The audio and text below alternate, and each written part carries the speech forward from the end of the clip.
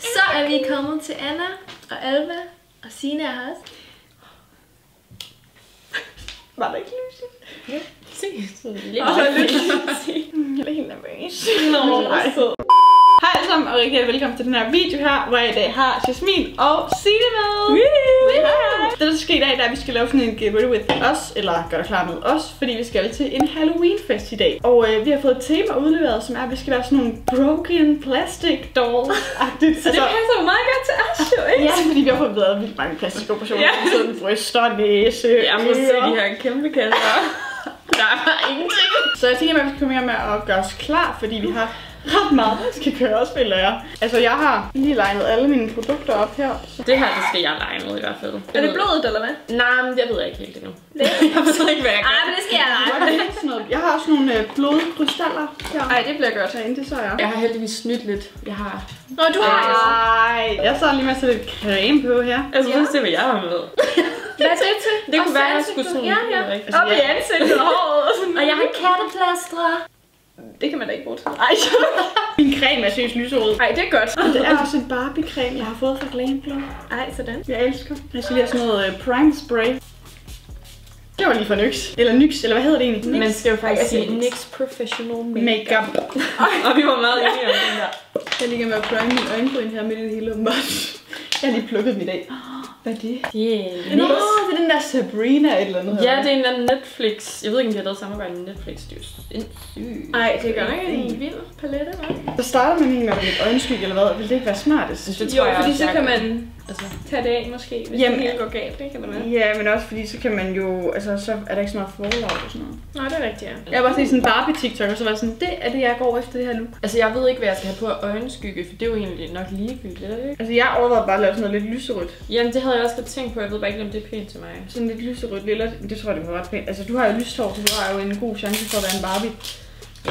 I forhold til mig, jeg var sådan, jeg kan ikke være en Barbie med brunt hår. Ej, jeg tør slet ikke gå i gang. Altså sådan Det der. ved jeg heller ikke. Jo, nu lægger jeg bare... Nå, nej. Ej, den her, den er sød. Ja, den er cute, hva'? Nå, men jeg lægger i hvert fald lige en øjenskygge primer. Altså, jeg har jo ikke noget øjenskik mere. Altså, jeg har alt muligt, Jasmin, hvis det er. Men har du det? Du må også gerne låne mig, hvis det er. Fedt. Den her primer her, den skal bare lige tørre ind i et minut, før man må lægge min øjenskygge med.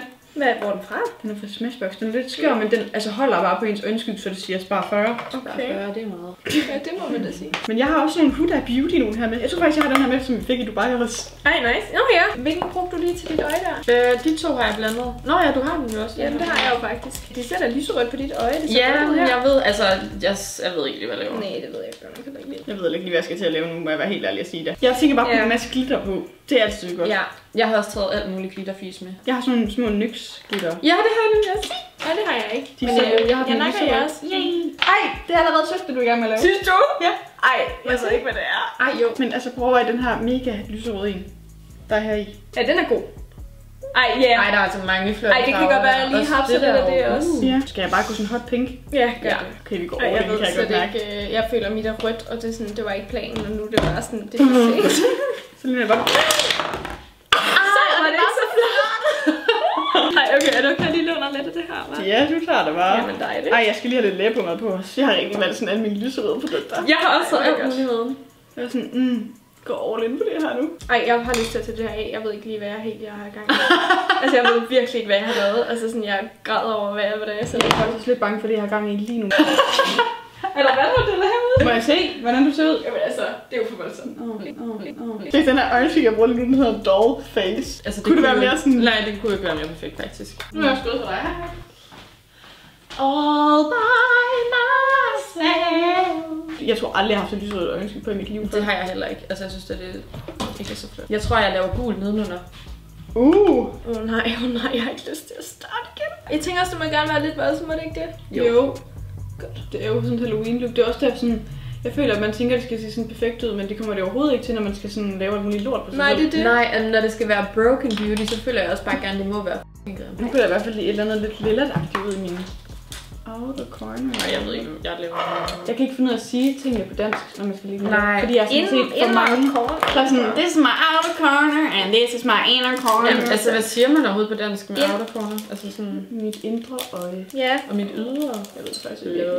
Jeg føler, at det her øjenskygge look, det tager en eller anden form for drejning, jeg godt kan lidt lide, faktisk. Åh, det er godt. Ej, du skal også lige have lidt der. Hold da op, det, det var en farve, jeg ikke så godt kunne lide faktisk. Åh, oh, nej, det er da ikke sikkert. at jeg er sådan syg. Altså sådan... sådan Men tænk på, at der kommer vipper på og sådan noget. Man skal også Jeg føler, at vipperne de sådan godt kan skjule lidt. Ja, men det er Ja. det. Men man skal jo også ligne en, der lige kommer direkte på hospitalet og får lavet Ja. ja. næsen, ikke?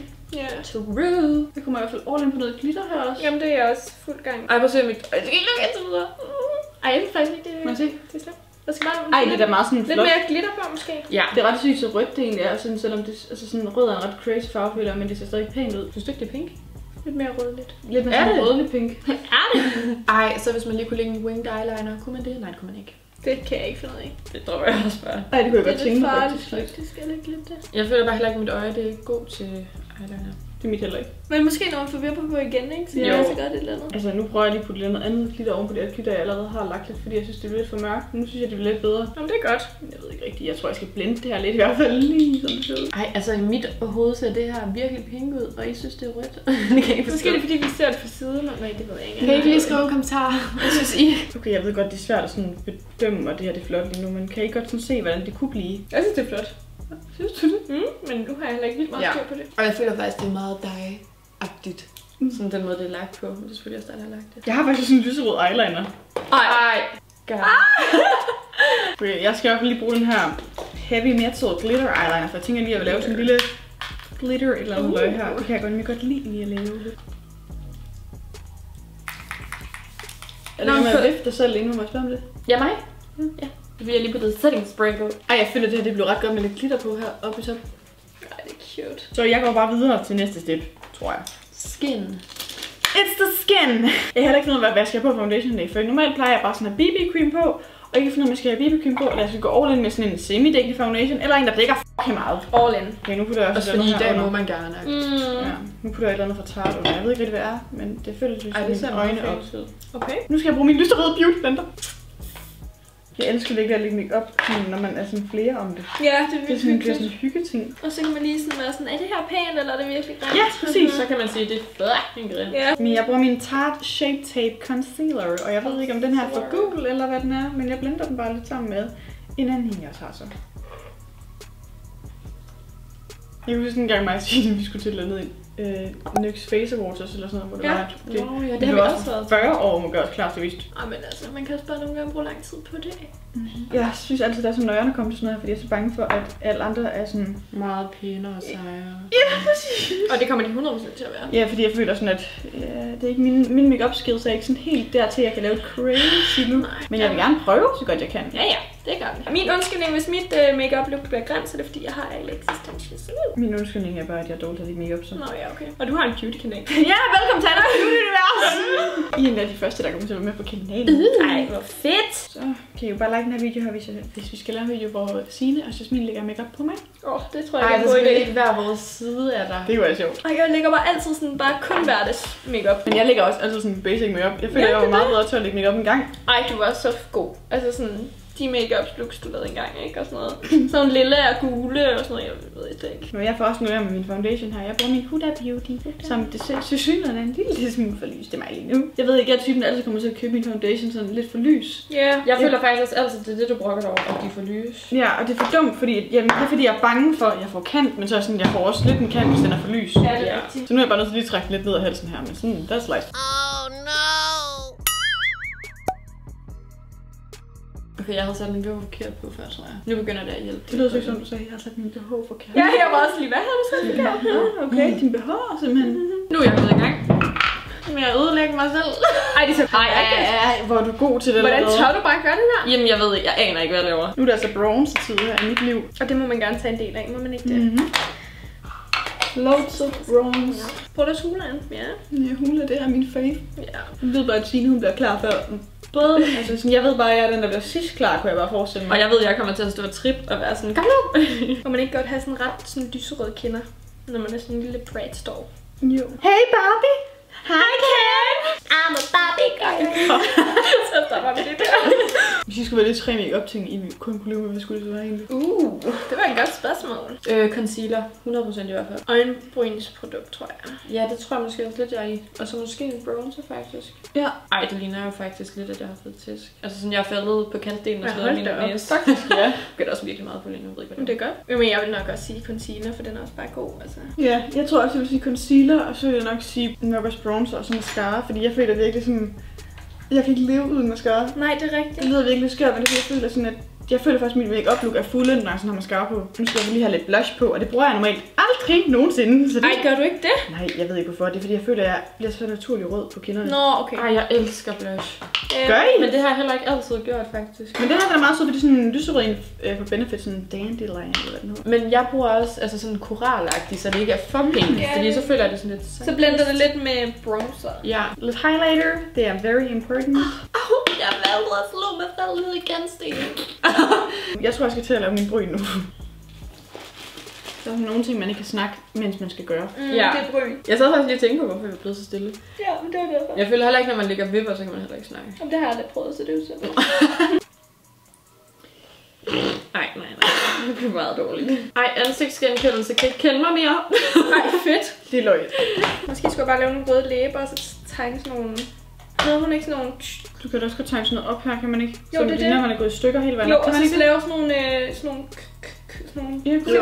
Nej, jeg ved ikke, hvad Det kunne man da Det godt. synes jeg er en god idé. Jamen tak. Altså, jeg ved ikke, om jeg skal tage mine vipper på nu. Jeg kan ikke finde ud af, hvor jeg skal tage på. Om jeg skal tage sådan dem her på, eller dem her på, eller nogle af dem. Hvad synes I? Nogle af dem her? Ja. Ja. Har I sådan røde læber, som ikke er sådan den her mørke? Hvad med den der li- lip, eller hvad du har? Denne her, Ja. altså jeg tror, den er meget mørkerød. Eller du kan lige prøve at swatch den. Ja, det gør jeg lige. Jeg ryster vi vipperne. Jeg ryster lige den lidt. You can do it. Det er også bare noget, at man ikke gør det så ofte, så det er også bare... Jeg gør det bare aldrig mere. Nej, det er det. Jeg har lige udlagt min næse. Hvad skal jeg... Hvad skal jeg... Bogstaveligt talt. Ja. Flot. Ej. Hej! Og jeg føler da bare, at jeg har de største vipper i verden. Der er en ægte Bratz. Det, der sker nu, det er, at jeg har tænkt mig at tage min kjole på. Jeg skal nu til at tegne alt muligt hernede, så det ligner, at jeg skal til at have lavet en brystoperation. Og det er jeg lidt spændt på, faktisk. Jeg tror, det her det faktisk går okay nemt. Det her jeg er i gang med. Nå, det godt. Jeg har godt nok aldrig nogensinde tegnet mig selv sådan her på mit øh, bryst. Nej, det må man da nok sige. Men øh, det... Skal jeg lave noget i hovedet også her? Med sådan noget, skal jeg lave nogle pile, der går op eller hvad? Eller hvad skal jeg gøre? Ja, jeg synes faktisk sagtens, du kan lave det her. Også under øjnene. Ej, jeg har slet slet ikke lyst til at ødelægge mit ansigt på den måde. Nej, jeg forstår det godt. Nu laver jeg nogle pile, der går op sådan her.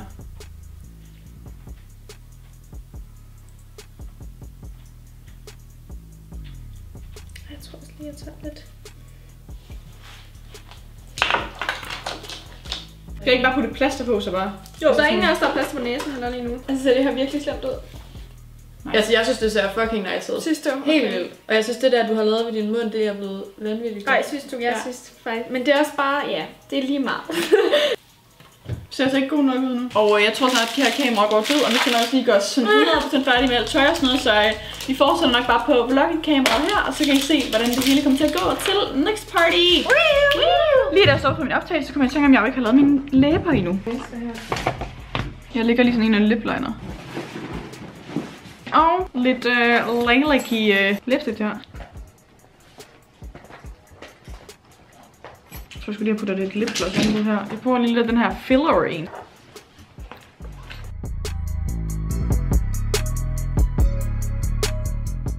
Så er vi klar. Ej, jeg skal lige huske på, at jeg kan ikke røre mig selv så meget hernede, fordi jeg har jo lige fået lavet bryster, eller skal til at have lavet bryster. Så vi skal til at køre hen til selve eventet nu, og jeg har det helt gode lilla outfit på, og jeg har lige sådan her på, så jeg kan køre. Vi er nået frem til festen nu, og jeg glæder mig røv meget. Det er så nøjer nu.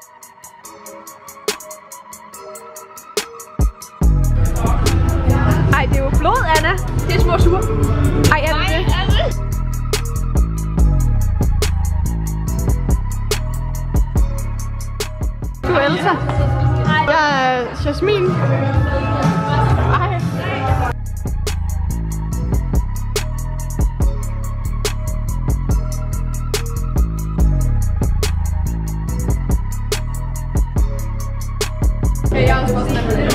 Sort lige Sverige over Finland her. Hej hej. Hej hej. Vi skal have tarteletter nu. Mm.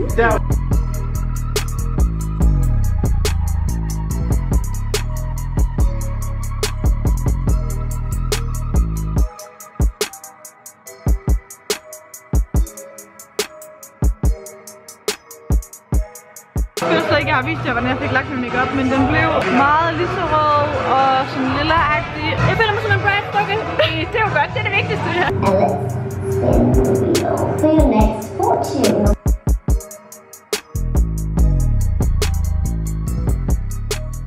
Jeg er kommet hjem igen, og der kører en god omgang Disney Plus her. Nu er det røven.